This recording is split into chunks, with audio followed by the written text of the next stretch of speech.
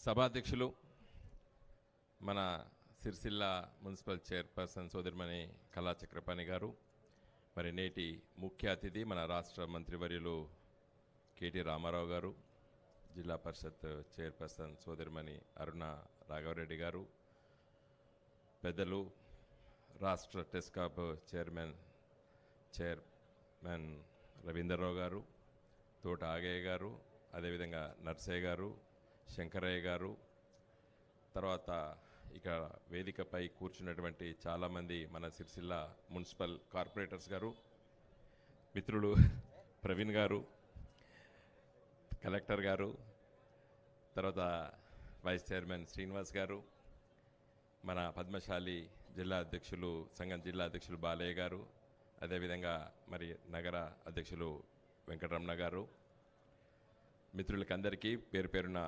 నమస్కారాలు.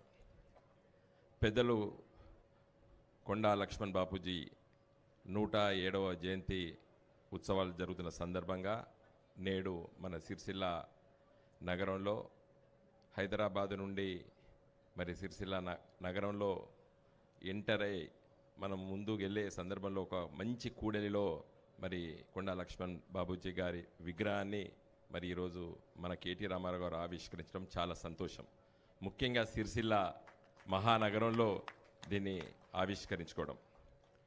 మిత్రులారా ఇంతకుముందే సోదరుడు మన ప్రవీణ్ గారు వారు చెప్పారు వినోదన్న మరి తెలంగాణ రాష్ట్ర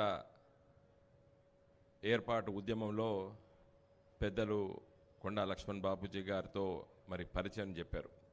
నిజంగా నాకు వారిని చూడడము పరిచయం చేసిన వ్యక్తి గౌరవనీయులు మన రాష్ట్ర ముఖ్యమంత్రి కల్వకుంట్ల చంద్రశేఖరరావు గారు. నాడు ఉద్యమ నేత రెండు వేల ఒకటి ఏప్రిల్ ఇరవై ఏడవ తారీఖు నాడు పార్టీని ఆవిష్కరించింది మీకు అందరికీ తెలుసు జలదృశ్యం. కొండా లక్ష్మణ్ బాపూజీ గారు తన సొంత నివాసాన్ని తన ఉంటున్నటువంటి ఇల్లును మరి మీ పార్టీకి మీరు దీన్ని ఆఫీస్గా పెట్టుకోమని చెప్పి వారు చెప్పడం. ఆ రోజు వెళ్ళి అంటే ఇరవై ఏడు ఏప్రిల్ కంటే కొన్ని రోజుల ముందు మీ వెళ్ళి మాట్లాడే సందర్భంలో మన కేసీఆర్ గారు పరిచయం చేశాడు ఇతని పేరు వినోద్ కుమార్.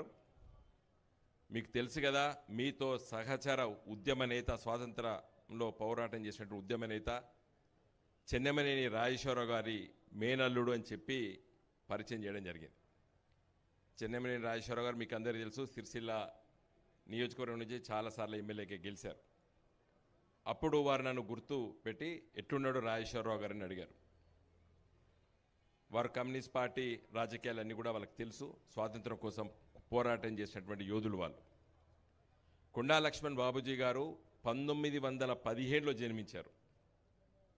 కేవలం ఇంకొక మూడు సంవత్సరాలు వాళ్ళు జీవించుంటే వంద సంవత్సరాలు నిండు జీవితాన్ని మరి ఉండేది. దురదృష్టవశాత్తు రెండు వేల పన్నెండులో వారు చనిపోయారు. వారు స్వాతంత్ర్యోద్యమ లోపల చాలా చురుకైనటువంటి కార్యకర్తగా వారి జీవితాంతం కూడా మహాత్మా గాంధీ సూచన మేరకు ఆనాటి మరి శాంతియుతంగా సత్యాగ్రహాల లోపల చాలా సందర్భంలో పాల్గొన్నారు. కొండా లక్ష్మణ్ బాబుజీ గారిని మనము గాంధీ టోపీ లేకుండా చూడగలుగుతామా? గుర్తుపట్టగలుగుతామా? కొండా లక్ష్మణ్ బాబుజీ గారంటే తెల్ల టోపీ ఉంటేనే కొండా లక్ష్మణ్ బాబూజీగా మనకు తెలుసు మన జనరేషన్కి తెలుసు. మీరు ఎంతమంది మరి వారిని ప్రత్యేకించి చూశారో చూడలో నాకు తెలియదు. మొదటి స్వాతంత్రం వచ్చిన తర్వాత మొదటి ఎన్నికల్లో పట్టిన ఎమ్మెల్యేగా గెలిచినటువంటి గొప్ప మహనీయుడు మరి కొండా లక్ష్మణ్ బాబూజీ గారు పంతొమ్మిది వందల యాభై రెండులో. తదనంతరం ఏడో సార్ల వారు గెలుస్తూ పోయారు. శాసనసభ నియోజకవర్గాలు కూడా మార్చారు ఆఖరికి చివరిగా వారు భువనగిరి నుండి కూడా గెలవడం జరిగింది. చరిత్ర ఇది. అధికారం మంత్రిగా పనిచేశారు దామోదర్ సంజీవయ్య ముఖ్యమంత్రిగా ఉన్నప్పుడు హైదరాబాద్ రాష్ట్రంలో. తర్వాత బ్రహ్మాందరెడ్డి గారు ము- ముఖ్యమంత్రిగా ఉన్నప్పుడు పనిచేశారు. అప్పుడే మొదటి దశ తెలంగాణ ఉద్యమం. పంతొమ్మిది వందల అరవై తొమ్మిదిలో పట ఆనాటి కాంగ్రెస్ ప్రభుత్వం మూడు వందల యాభై మంది పిల్లల్ని కాల్చి చంపింది. ఆ రోజు ప్రత్యేక తెలంగాణ ఉద్యమం చేపడితే. ఆ సందర్భంలో వారు మంత్రి పదవికి కూడా రాజీనామా చేశారు. ఒకసారి నెమరు వేసుకోవాలి. పెద్దలకు విగ్రహాలు పెట్టడము పూజించడం కాదు. చిన్న లే కొత్త తరానికి తెలవాలి. కుండా లక్ష్మణ్ బాబుజీ గారి త్యాగం ఏంది? తెలంగాణ పట్ల వారికి ఉన్నటువంటి ప్రేమ ఏంది? ఇవన్నీ ఒకసారి మనం గుర్తు చేసుకోవాలి. తదనంతరం శ్రీమతి ఇందిరాగాంధీ గారితోనే నేరుగా ధీటుగా గట్టిగా మాట్లాడినటువంటి వ్యక్తుల్లో అతి కొద్ది మంది వ్యక్తుల్లో వారొకరు.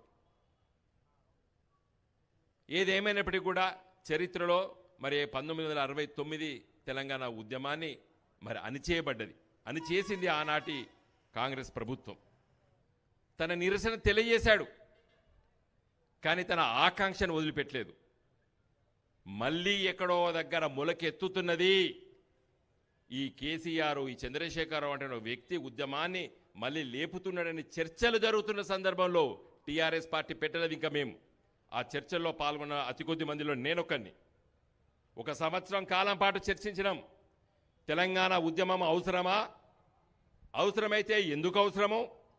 ఈ ఉద్యమాన్ని ఏ విధంగా తీసుకెళ్ళాలని చెప్పి కేసీఆర్ గారు కొన్ని రోజుల తరబడి గంటల తరబడి చర్చించే సందర్భంలో మరి కొండా లక్ష్మణ్ బాబుజీ గారికి తెలిస్తే నువ్వు అక్కడో ఇక్కడ పెట్టద్దు.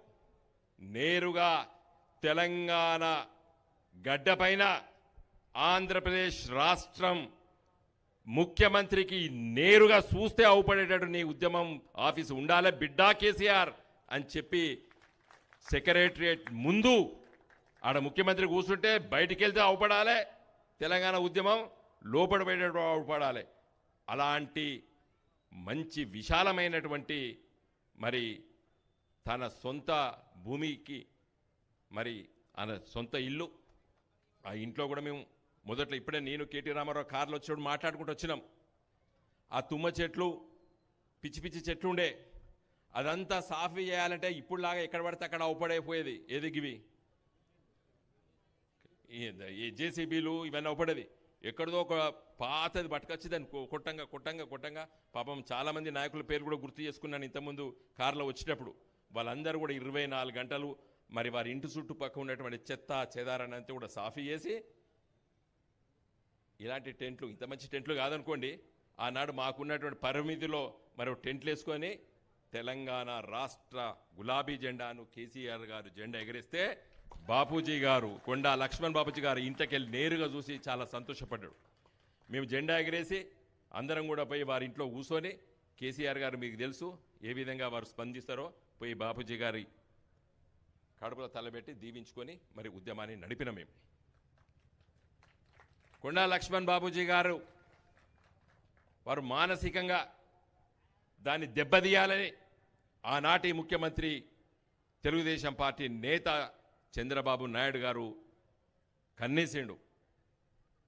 కేసీఆర్ గారికి నీ ఇల్లు కిరాకిస్తావు బిడ్డా అని చెప్పి ఎప్పుడో వచ్చే కేసును ఆదర ముందు ముందుకు తీసుకొచ్చి సుప్రీంకోర్టులో మరి తనకున్నటువంటి పలుకుబడియో మరి ఏందో నేను ఆ కేసు గురించి మాట్లాడదు కాబట్టి తీర్పు వచ్చిన తర్వాత తీర్పు గురించి మాట్లాడదు నేను వకీల్ని. కాబట్టి నేను ఇంకా అర్థం చేసేటట్టు చెప్పిన మీకు. మరి ఆ కేసు గెలిచినాం అని చెప్పి రాత్రి ఒంటి గంటకి మరి టీఆర్ఎస్ పార్టీ జెండాలని టీఆర్ఎస్ పార్టీ కుర్చీలని టీఆర్ఎస్ పార్టీ టేబుల్లని కేసీఆర్ గారు కూర్చునే కుర్చీని ఇవన్నీ కూడా పోలీసులు తీసుకొచ్చి బయటేసిండ్రు. అక్కడ తృప్తి పడలేదు వాళ్ళు. మన కొండా లక్ష్మణ్ బాబూజీ గారి కూర్చునే కుర్చీని మంచాన్ని కూడా తీసుకొచ్చి రోడ్డు పైన వేస్తే మరి తెల్లారి అవన్నీ కూడా తీసుకొని మేము వెళ్ళడం జరిగింది. ఈరోజు ఉదయం పూట కేటీ రామారావు గారు నిజంగా చెప్తున్నా నేను ఉదయం పూట మరి అంత పెద్ద ఎత్తున విగ్రహాన్ని బాపూజీ గారి విగ్రహాన్ని అక్కడ ఆవిష్కరించినప్పుడు నా కళ్ళలో నీరు తిరిగినాయి. బిడ్డా నిజంగా కూడా ఇలా కొండా లక్ష్మణ్ బాబూజీ గారి ఆత్మ శాంతించింది. ఎందుకంటే ఏదైతే తప్పించిండో ఏదైతే పోరాటం చేయాలో తనకు రావాల్సినటువంటి న్యాయబద్ధంగా రావాల్సినటువంటి ఈ జాగా నాదిని కొనుక్కున్నా అని చెప్పి అనుకున్నాడో దాంట్లో జీవితాంతం కోసం తన తప్పించింది తెలంగాణ ప్రత్యేక రాష్ట్ర ఏర్పాటు. దానికి తోడు ఇలా తాను చివరి వరకు ఉండదలుచుకున్నటువంటి నివాస స్థలంలో ఇలా కొండా లక్ష్మణ్ బాపూజీ గారి విగ్రహాన్ని పెద్ద విగ్రహాన్ని మన కేసీఆర్ గారు మన ముఖ్యమంత్రి గారు ఆదేశానుసారం మన ప్రభుత్వం ఈరోజు నిర్మించింది. మన కేటీ రామారావు గారు మిగతా మన రాష్ట్ర మంత్రివర్యులు మరి శ్రీనివాస్ యాదవ్ గారు గంగుల కమలాకర్ గారు మిగతా వాళ్ళందరం కూడా మేము పాల్గొని ఇక్కడికి నేరుగా రావడం జరిగింది. కొండా లక్ష్మణ్ బాపూజీ గారి విషయానికి వస్తే తెలంగాణ రాష్ట్రం ఏర్పడ్డ తర్వాత మరి మనకున్నటువంటి విశ్వవిద్యాలయాల పేర్లు పెట్టాలని ఆలోచించినప్పుడు మరి కొండా లక్ష్మణ్ బాబూజీ గారి పేరిట హార్టికల్చర్ యూనివర్సిటీ మీరు మనందరం కూడా హైదరాబాద్ పోతాం. హైదరాబాద్ పోతుంటే బ్రహ్మాండమైనటువంటి బంగ్లాలు ఇలా బిల్డింగ్స్ కట్టి అక్కడ ఏది మన హైదరాబాద్ షామీర్పేట రాకముందు ములుగు గ్రామంలో బ్రహ్మాండమైనటువంటి హార్టికల్చర్ యూనివర్సిటీ పేరు కొండా లక్ష్మణ్ బాబూజీ తెలంగాణ రాష్ట్ర హార్టికల్చర్ యూనివర్సిటీ పేరు మన గౌరవ ముఖ్యమంత్రి గారు మన రాష్ట్ర మంత్రివర్యులు ఆ రోజు నిర్ణయం తీసుకొని ఇలా ప్రకటించడం జరిగింది. తెలంగాణ బిడ్డల్ని సముచితమైన స్థానంలో గౌరవించాలని చెప్పి మెడికల్ యూనివర్సిటీ పేరు కాలోజీ నారాయణరావు గారి పేరు ఎట్లా పెట్టాము? మన అగ్రికల్చరల్ యూనివర్సిటీ పేరు ప్రొఫెసర్ జయశంకర్రావు గారి పేరు పెట్టినాము జయశంకర్ గారి పేరు పెట్టినాము ప్రొఫెసర్ జయశంకర్ గారి పేరు పెట్టినాము. మన వెటనరీ యూనివర్సిటీకి పివి నరసింహరావు గారి పేరు పెట్టాము. మన కొండా లక్ష్మణ్ బాబుజీ గారి అతి ముఖ్యమైనటువంటి విశ్వవిద్యాలయం హార్టికల్చర్ విశ్వవిద్యాలయం పేరు వారి పేరు పెట్టడం జరిగింది. ఇంకో ఇది తెలంగాణ బిడ్డల్ని గౌరవించుకునేటువంటి ఆలోచన. అది మన గౌరవ ముఖ్యమంత్రి గారికి మాత్రమే ఉన్నది. తెలంగాణ రాష్ట్ర ఏర్పాటు జరిగిందంటే తెలంగాణ బిడ్డల్ని తెలంగాణ మేధావుల్ని తెలంగాణ ఉద్యమకారుల్ని తెలంగాణ స్వాతంత్ర సమరయోధుల్ని గౌరవం ఇచ్చి పేర్లు ప్రతిష్టలు ఉండాలని చెప్పి మన గొప్ప విశ్వవిద్యాలయాలకు వాళ్ళ పేర్లు పెట్టుకోవడం జరిగింది. ఇంకా చాలా విషయాలు కూడా మన ముఖ్యమంత్రి గారు మన రాష్ట్ర మంత్రివర్యులు కూడా నిర్ణయం తీసుకున్న విషయాన్ని కూడా ఒకసారి మనం గుర్తు చేసుకుందాం మిత్రులారా. చివరిగా మరి అలా పద్మశాలి సామాజిక వర్గానికి గౌరవం ఇవ్వాలని చెప్పి చాలా విషయాలు కూడా ప్రవీణ్ గారు ఇప్పుడు మీకు చెప్పడం జరిగింది. వరంగల్ మేయర్ గారి గురించి కానీ లేకపోతే పవర్లూమ్ టెక్స్టైల్ కార్పొరేషన్ చైర్మన్ కానీ లేకపోతే మన ప్రభాకర్ గారికి మరి మన ఎన్నికల్లో కొన్ని ఓట్లతో ఓడిపోయినప్పుడు కూడా గౌరవం ఇచ్చుకోవాలని చెప్పి కూడా ఇచ్చుకోవడం జరిగింది. ఇంకా చాలా విషయాలు కూడా మీకు అన్నీ తెలుసు. రాజకీయ పదవులు కానివ్వండి లేకపోతే మిగతా వాటిలో కూడా సముచితమైన స్థానం ఇవ్వాలని చెప్పి మన గౌరవ ముఖ్యమంత్రి గారు తీసుకునే నిర్ణయాలు చాలా ఉన్నాయి. మిత్రులారా ఇంతకుముందు ప్రస్తావించరు బాలయ్య గారా? లేకపోతే వెంకటరమణ గారు ప్రస్తావించారు. ఏది? సిరిసిల్లకి పద్మశాలిలో ఆత్మహత్యలు చేసుకునే సందర్భంలో పట కేసీఆర్ గారు యాభై లక్షల రూపాయలు ఇచ్చినని. మన కుండూరు రవీంద్రరావు గారు మరి ఎంపీ ల్యాడ్స్ అన్నారు. ఎంపీ ల్యాడ్స్ కాదు రవీంద్రరావు గారు. మేము వసూలు చేసాం డబ్బులు. ఎందుకంటే ఆ రోజు నేను హన్మకొండ ఎంపీగా ఉంటేనే కేసీఆర్ గారు ఇక్కడ ఎంపీ ఉండే. మేము చాలా మంది దగ్గర తీరప్పుడు యాభై లక్షలు అంటే ఇప్పుడు అగ్వైపోయిన యాభై లక్షలు కానీ ఓ ఇరవై ఏళ్ళ కింద యా దాదాపు యాభై లక్షలు అంటే చాలా కష్టం ఉండే ఆ రోజుల్లో కూడా. చాలా కష్టపడి అడిగి జోలో పెట్టి అడిగి తీసుకొచ్చి ఆ రోజు ఇక్కడ ఇవ్వడం జరిగింది. ఇప్పుడే మిత్రులు వెంకటరమణ గారు చెప్పినారు అది మేము మంచిగా బ్రహ్మాండంగా నడుపుకుంటున్నాము. ఇప్పుడు ఎనభై తొమ్మిది లక్షల రూపాయలు మా దగ్గర ఉన్నాయని చెప్పి కూడా వారు ఇప్పుడు నా దగ్గరికి ప్రవీణ్ గారు పిలిస్తే వచ్చి శ్రీనివాస్ గారు వచ్చి చెప్పడం జరిగింది. మిత్రులారా ప్రతి అంటే కేసీఆర్ గారి సూక్ష్మంగా ఆలోచిస్తారు. ఏ విషయమైనా చాలా సూక్ష్మంగా ఆలోచిస్తారు. ఇలా ఆ రోజు తీసుకున్న నిర్ణయం పట్ల ఆనాటి ప్రభుత్వం స్పందిస్తుందని చెప్పి చేసింది అది నాకు తెలుసు. యాభై లక్షల ఒక ఉద్యమ పార్టీ అధికారంలో లేము ఆ రోజు. ఒక ఉద్యమ పార్టీగా ఉద్యమ నాయకుడుగా కేసీఆర్ గారు యాభై లక్షల రూపాయలు జోలబట్టి వసూలు చేసి ఇక్కడ ఆత్మహత్యలు జరగద్దని చెప్పిస్తే ఆనాటి ప్రభుత్వాలు స్పందించాలని చెప్పి వారిస్తే ఎవ్వడు కూడా ఉలకలేదు పలకలేదు. సపరేట్గా కూర్చున్నారు. యాభై లక్షల రూపాయలు ఇచ్చి మీకు ఇచ్చి మీరు దీన్ని నడుపుకోండి. ప్రభుత్వం స్పందించాలని చెప్పి డిమాండ్ చేస్తాం మేము. నడవలేదు. పోచంపల్లి చౌటుపల్లి దగ్గర ఒకే రోజు నలుగురు చచ్చిపోతే వాళ్ళ కోసం కూడా అదేవిధంగా జోలబట్టి డబ్బులు ఇవ్వడం జరిగింది. మిత్రులారా ఇలా నాటి సిరిసిల్ల ఎట్లా ఉంది? నేటి సిరిసిల్ల ఎట్లా ఉన్నది? నాటి సిరిసిల్ల ఏ పరిస్థితుల్లో ఉన్నాయి? ఇక్కడ ఉన్నటువంటి పద్మశాలి సామాజిక వర్గం చేనేత కార్మికులు ఇలా ధైర్యంగా బతుకుతున్నారు? ఆనాడు ఎప్పుడు తెల్లారుతుందో ఏ ఇంట్లో శవము అవుపడుతుందని చెప్పి బాధలతో ఆ రోజు ఉద్యమ నాయకులుగా మేము ఉన్నాం. కేటీ రామారావు గారు రెండు వేల తొమ్మిదిలో శాసనసభ్యుడై ఆనాడు కాంగ్రెస్ ప్రభుత్వం ఉన్నప్పుడు కూడా చాలా విషయాలపైన స్పందించిండ్రు మాట్లాడినరు బయట మాట్లాడినరు శాసనసభలో మాట్లాడినరు మీకు అందరు కూడా గుర్తు చేస్తున్నాను. ఇవన్నీ కూడా మనం చదివినే పేపర్లో చదివినే కానీ ఒకసారి నెమర వేసుకోవాలి. గుర్తు చేసుకోవాలి. మనకు మనసున్నది. ఆలోచన చేసే జ్ఞానం ఉన్నది దేవుడు మనకిచ్చిండు. పశువులకు కొన్ని పశువులకైతే నిమర వేసుకుంటే అనే పదం ఎందుకు వచ్చింది అది ఒకటే ఒకటేసారి తినేసి మంచిగా కూర్చున్నప్పుడు మళ్ళీ దాన్ని బయటకు తీసుకొచ్చి నవిలి మళ్ళీ మింగుతుంది. మన ఆవు గేదెలు. మనకు అవసరం లేదు అట్లా. కానీ అట్లీస్ట్ మన మనసుననా నిమర వేసుకోవాలి. మనం ఆలోచన చేసే అవన్నీ కూడా ఒకసారి గుర్తు చేసుకోవాలి. ఎందుకంటే మన ఉద్యమ స్పిరిట్ ఉండాలి. మనం రేపు తెల్లారి ఒక ఏదైనా సమస్య వస్తే కొట్లాడాలంటే మనం ఇదివరకు మనం చేసేయని కూడా ఒక్కొక్కసారి గుర్తు చేసుకోవాలి. నిద్రపోయేటప్పుడో కూర్చున్నప్పుడో లేకపోతే కొంత ఆలోచనలు అయినప్పుడో గుర్తు చేసుకుంటేనే ఉద్యమ స్పిరిట్ వస్తుంది. మళ్ళా కొట్లాడేటువంటి ఆ ధైర్యం వస్తుంది.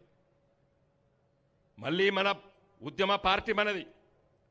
ఈరోజు కూడా దేశంలో ఉన్నటువంటి చాలా సమస్యల పట్ల ఇలా పరిష్కారాలు కాకపోతే తెలంగాణ బతకది. తెలంగాణ బతకాలంటే దేశం కూడా చాలా సమస్యల పట్ల స్పందించవలసిన అవసరం ఉన్నది. ఇలా మీకు అందరికీ తెలుసు చాలా విషయాలు కేటీ రామారావు గారు మాట్లాడతారు. నేను ఇంకా ఎక్కువ మాట్లాడడం భావ్యం కాదు ఈ- సమావేశంలో. మిత్రులారా ఒకటే చెప్పి నేను ముగించదలుచుకున్నాను. మన నాయకుడు మన కేసీఆర్ గారు సమస్యల పట్ల స్పందించేటువంటి గొప్ప నాయకుడు ఈ దేశంలో ఎవరు లేరు. సూక్ష్మంగా ఆలోచించి దాని పరిష్కారం కూడా అదే రీతిలో ఉంటుంది వారు. కాబట్టి ఇక్కడికి వచ్చినటువంటి మరి చేనేత కార్మిక వర్గం పద్మశాలి సామాజిక వర్గం మీరు ఆలోచన చేయవలసిందంటే మీ దీవెనలు కావాలి తెలంగాణ ఉద్యమ పార్టీకి నాయకుడికి కేసీఆర్ గారికి కేటీఆర్ గారికి మా అందరికీ. ఎందుకంటే మేము ఉన్నదే తెలంగాణ రాష్ట్ర సమితి అనేటువంటి రాజకీయ పార్టీ దాని నాయకులం తెలంగాణ ప్రజల సమస్యల పరిష్కారం చేసి ఈ గడ్డ తెలంగాణ ఒక కొత్త రాష్ట్రాన్ని తెస్తామని చెప్పినాం తెచ్చి చూపించినాం. తెలంగాణను బంగారు తెలంగాణ చేస్తామని చెప్పినాం చెప్పి చూపిస్తున్నాం. కాబట్టి దయచేసి ఇదే విధంగా మరి ఈ సిరిసిల్ల మహానగరం లోపల సామాజికంగా చూసినైతే మరి చేనేత కార్మిక వర్గము పద్మశాలి సామాజిక వర్గం పెద్ద ఎత్తున ఉంటారు నాకు తెలుసు. కాబట్టి మరి ఈరోజు ఇంత గౌరవం మన ప్రభుత్వం మనకిచ్చింది. కాబట్టి దీని కొనసాగింపుగా మీరందరూ కూడా మరి మా అందరికి కూడా దీవెనలు ఇవ్వాలని చెప్పి కోరుకుంటూ నేను సెలవు తీసుకుంటున్నా. జై తెలంగాణ! ధన్యవాదాలు సార్. స్ఫూర్తి చాటుతూ